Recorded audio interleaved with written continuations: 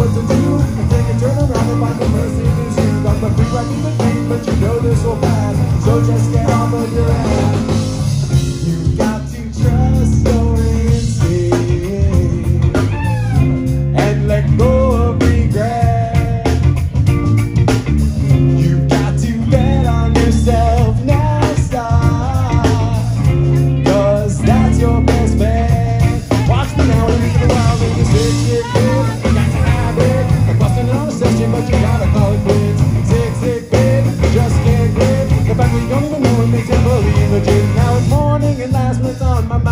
something need to get off my chest.